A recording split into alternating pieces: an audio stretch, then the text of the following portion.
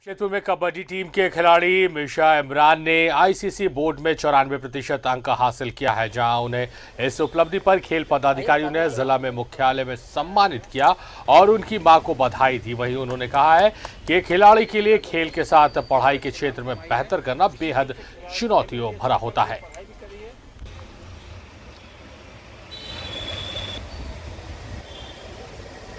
सम्मानित किया जा रहा है क्योंकि बोर्ड्स में मुझे 94 परसेंट है।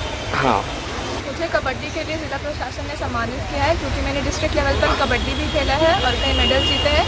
इसके साथ साथ मैंने अभी आई सी टेंथ के बोर्ड्स में 94 परसेंट पदाधिकारी होने के नाते ये बड़ी गर्व से मैं कह रहा हूँ कि इन्होंने जिला को प्रतिनिधित्व करते हुए बहुत सारे मेडल भी जीते हैं खिलाड़ी में के रूप में और अभी जो बोर्ड एग्ज़ाम हुआ उसमें 94 परसेंट क्वालिफिक क्वालिफाई है ला के और ये भविष्य में आईटी बनना करना चाहती है, एक सफल इंजीनियर बनना चाहती है इस क्षेत्र में।